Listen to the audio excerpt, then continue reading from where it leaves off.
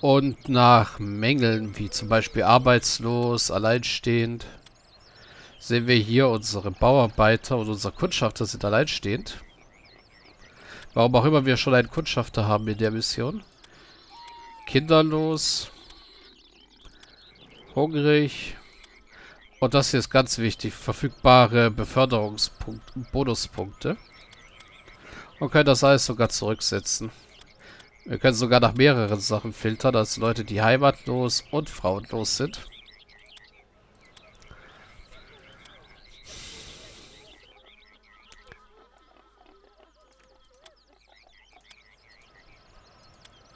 Ja. Dann haben wir hier die Statistiken, die uns unsere Leute anzeigen. Also Gesamtzahl, Männer, Frauen, Kinder, Soldaten. Unsere Berufe ganz im Übersicht, unsere Gebäude.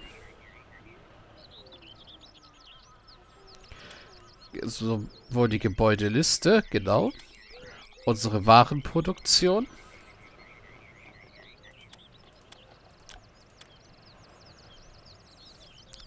Damit wir ein bisschen sehen können, ob es steigt oder wieder einbricht.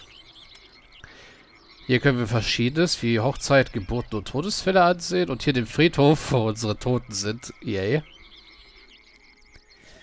Das Diplomatiefenster, dafür, dazu kommen wir erst im nächsten, in der nächsten Mission. Ziele kennen wir ja bereits. Das hier ist die Hilfe. Also die Gebäudeliste, das Militär. Gebäudeliste, Militär, Tastaturbelegung, Tipps und Tricks. Und man sieht hier schon in der Gebäudeliste, dass es recht viele Gebäude gibt. Von der Bäckerei bis zum Zweifamilienhaus, wobei sich das Dreifamilienhaus auch hier irgendwo befindet, genau da.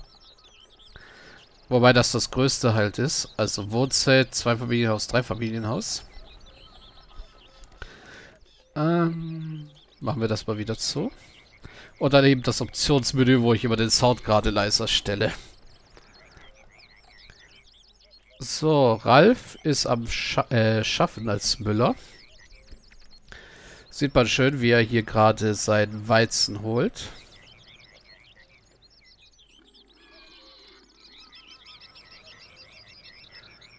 Ja, ich kann mal ranzoomen. Da sieht man es noch besser, auch wenn es ziemlich pixelig ist. Er holt seinen Weizen. Die Mühlräder drehen sich. Und Mehl ist gemacht.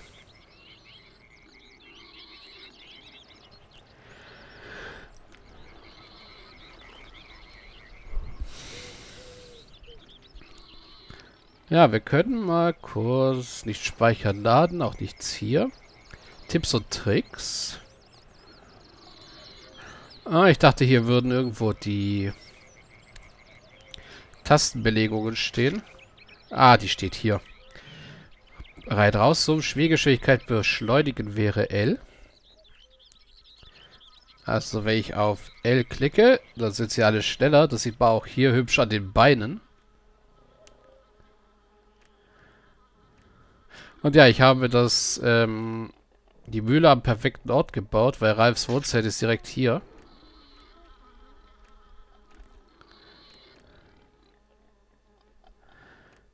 So, Ralf holt nochmal Mehl.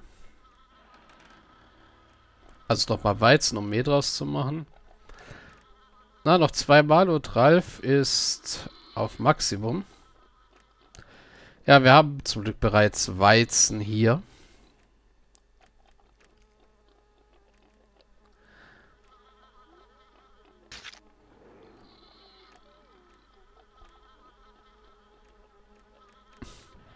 Naja, wir haben Kabelbart, den Baumeister. Haftgrim. Manche haben nette Namen. Oh, der erste Weizen wird geerntet. Sehr schön.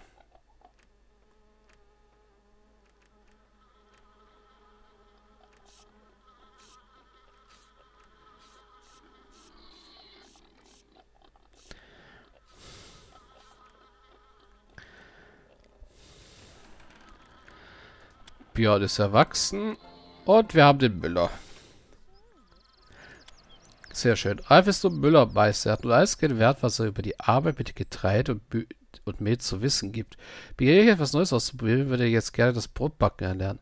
Also der Bauarbeiter daher eine Bäckerei in der Mühle und der Wohnzelte bauen. Tipp. Erst wenn der Bäcker beginnt, Brot zu backen, kann er seinen Teil zur Nahrungsversorgung der Wikinger beitragen.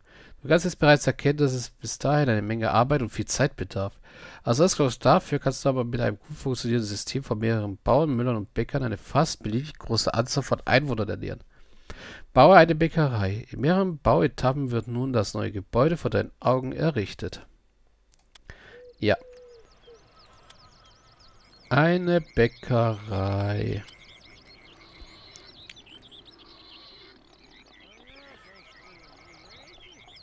Bauen wir sie hier oben. Das ist in der Nähe von Ralfs Wohnzelt, da der ja unser Bäcker werden soll. Und ja, man sieht hier auch am Bauernhof sehr gut, dass zwei Schilde da sind, weil halt zwei Bauern hier arbeiten.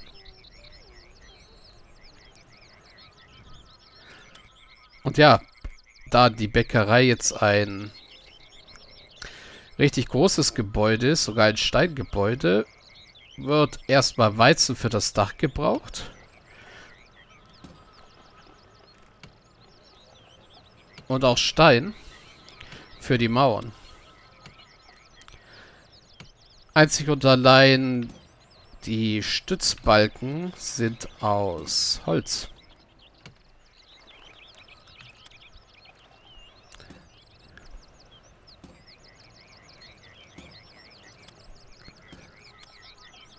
Was wir dann nachher noch brauchen, ist ein Brunnen.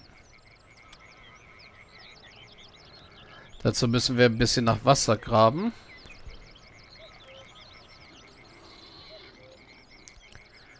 Ah, da hat einer Stein im Wald gefunden. Auch gut.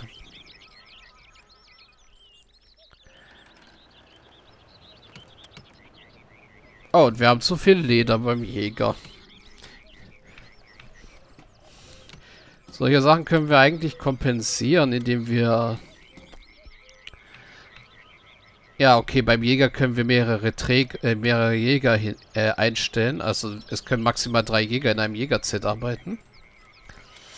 Wir können aber zum Beispiel in unserem Hauptlager Träger einstellen, die halt Sachen vom Jäger zum Beispiel holen und einlagern, dass es der Jäger nicht mehr selber machen muss. Genauso können wir zum Beispiel bei der Mühle einen Träger einstellen, der Getreide aus dem Bauernhof holt und in die Mühle bringt. Dadurch kann der Müller, äh, Müller mehr, äh, schneller arbeiten, indem er einfach nur das Mehl malt. Oh, Gudrid ist erwachsen und die Bäckerei ist fertig. Während der Träger halt das Getreide holt und das Mehl ins Hauptlager liefert, wenn es zu viel ist.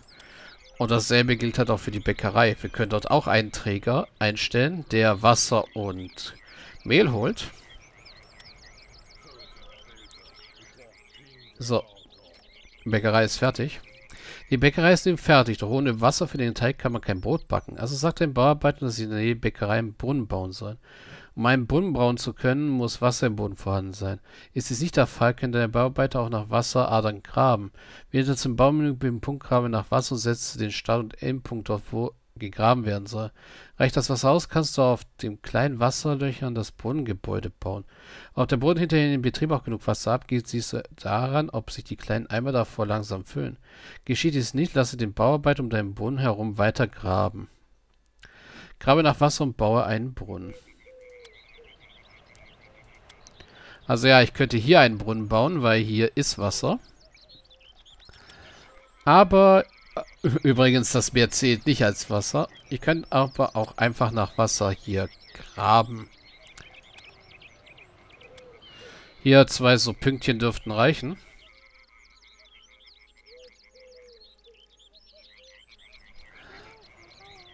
Wobei, machen wir vier draus, ist besser.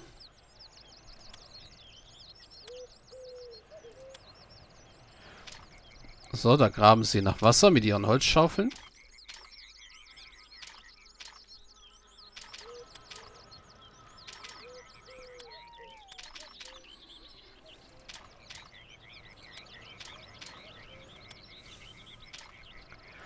So. Und einen Brunnen können wir jetzt hier direkt auf das Wasserloch setzen. So. Der braucht übrigens wieder Leder, der Brunnen. Ja, das kennt man übrigens auch ein bisschen aus den alten Siedlerspielen. So die Nahrungskette mit Bäck äh, Bauernhof, Mühle, Bäckerei, wobei es da auch noch eine Schweinezucht gab. Ich glaube sogar, dass es die hier auch immer noch gibt.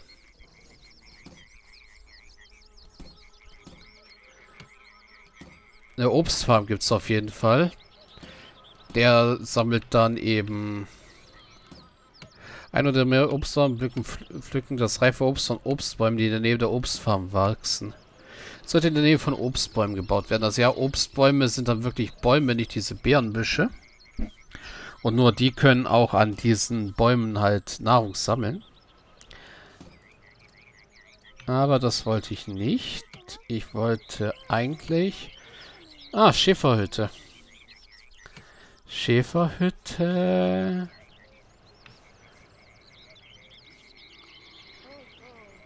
Egerzelt, Lederschneiderei, Goldschmiede. Ja, Schäferhütte. Produziert Wolle, ja. Das ist auch wieder eine andere Sache. Es gab aber, soweit ich weiß, auch eine Webstube, Vorratszelt, Töpferei, Tempel, Schwertschmiede, Schusterei macht ähm, Schuhe. Schäferhütte, Obstfarm. Lederschneiderei macht Lederrüstungen.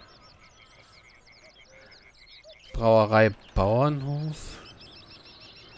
Der Brunnen sprudelt nur lustig vor sich hin. Nun könntest du Ralf eigentlich bitten, dass er als Bäcker in der Bäckerei arbeiten soll. Doch wenn Ralf künftig als Bäcker arbeitet, steht die Mühle wieder leer. Es wäre möglich, einem anderen Fahrmeister zu sagen, er soll als Müller arbeiten, doch da in deinem Dorf wahrscheinlich noch kein anderer Wikinger so viel Erfahrung hat, wollen wir einen neuen Weg ausprobieren, die Schule. In einer Schule können Wikinger einen Beruf sehr schnell und einfach erlernen. Weise daher nun einen deiner Bauarbeiter an, ein Schulgebäude zu errichten.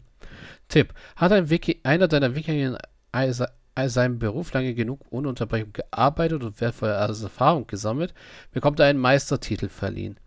Dieses Wissen kann er weitergeben, indem er es in Form von Schriftrollen in einer Schule hinterlegt.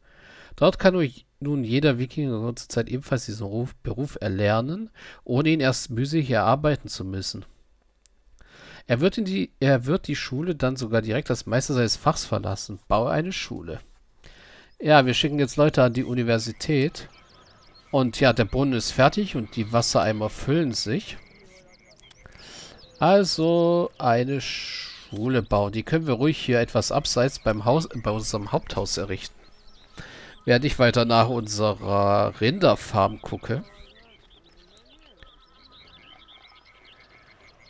Rüstungsschmiede.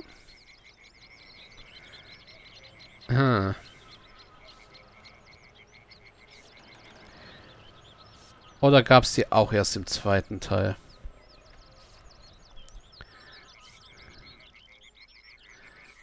Bei Lederschneiderei, genau, macht Lederrüstungen.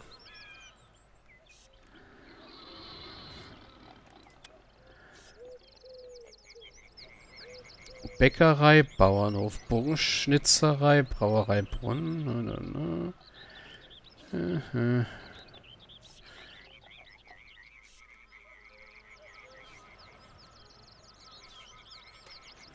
Rüstungsschmiede, Schäfer, Schule, Schuster macht wie gesagt. Ähm, Lederschuhe.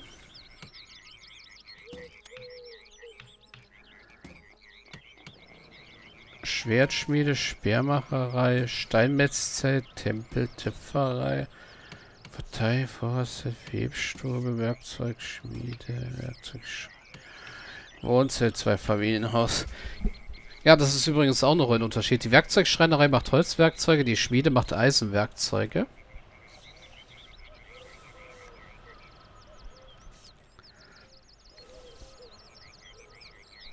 Dazu kommen wir aber auch erst irgendwann mal in der Hauptkampagne. Da wir solche Sachen einfach noch nicht bauen können. Ich meine, wir haben jetzt eigentlich so gut wie alles gebaut.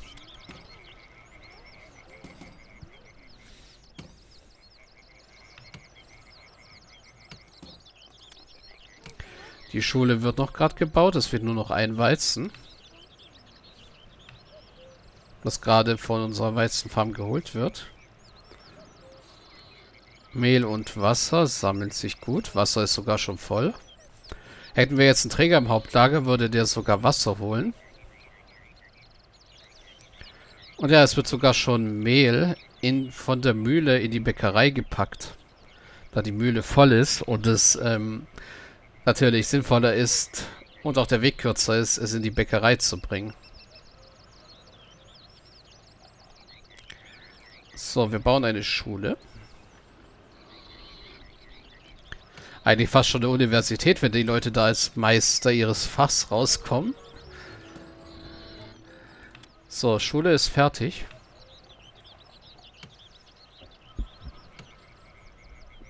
Schule wird nachher auch ein sehr wichtiges Gebäude im Hauptspiel sein, wenn wir neue Leute zu Jägern, Holzfällern oder so machen, um unsere Wirtschaft zu beschleunigen.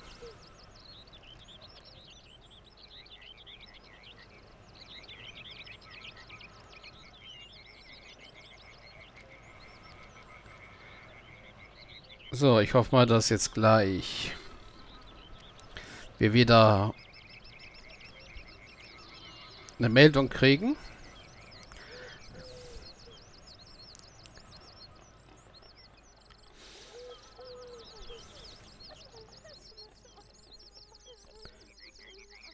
Wie wundert es eigentlich? Wo haben wir hier unseren Kundschafter stehen? Die Schule mit der Glocke am Eingang steht nun bereit. Lasse einen der Bauarbeiter dort jetzt den Beruf des Müllermeisters erlernen. Um jemanden in der Schule auszubilden, schicke ihn mit dem Hammersymbol in die Schule. Ist er dort angelangt, klicke auf das Schulgebäude, wähle im Winkenfenster den Wikinger an und klicke auf der rechten Seite auf den Beruf, den er erlernen soll. In unserem Fall ist es der Beruf der, des Müllermeisters. Nachdem die Ausbildungszeit vorbei ist, erkennen, zu erkennen am Verlaufsbalken unter der Figur, wird der ehemalige Bauarbeiter als Mü Müllermeister wird der ehemalige Bauarbeiter als Müllermeister verlassen. Ralf hat nun einen Nachfolger. Jetzt kannst du ihm endlich die Bäck zum Bäcker werden lassen, Zahnradsymbol und ihm die leerstehende Bäckerei als Arbeitsplatz zuweisen. Danach kannst du den neuen Müller in die Mühle schicken, Hammersymbol. Lasse Ralf zum Bäcker werden und schicke ihn in die Bäckerei, um, Me um Meister zu werden. Sagt dem neuen Müller, dass er in der Mühle arbeiten soll. Ralf beginnt eifrig Brot zu backen. Ist er Meister geworden, ertönt wiederum ein Tuch, ein Tusch, der für ein kleines für unser kleines Tutorial auch gleichzeitig das Erreichen des Ziels signalisiert. Ja. Hafgrim, du arbeitest jetzt in der Schule. Ralf, du wirst jetzt Bäcker.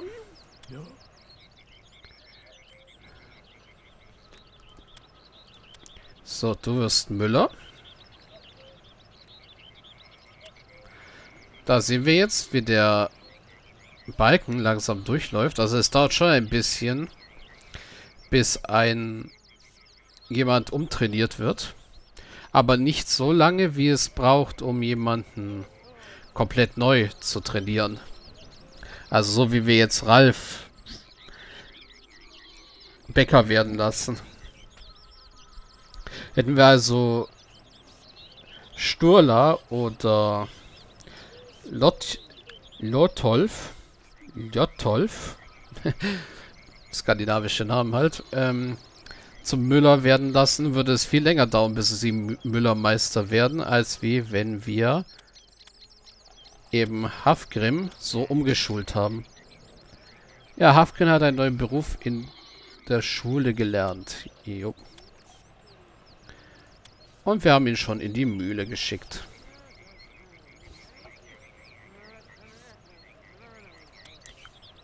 Unser guter Ralf ist schon fleißig an der Arbeit und macht uns ordentlich Nahrung. Also bei dem kleinen Dorf sollte jetzt die Nahrungsversorgung kein Problem mehr sein, da wir hier ja mit der Bäckerei sehr gut an Nahrung kommen. Ich glaube sogar, dass ein Bäcker jeweils zwei Nahrung aus einem aus einer Lieferung produzieren kann, also aus einmal Mehl und einmal Wasser. Zeigt er ja gerade sehr schön.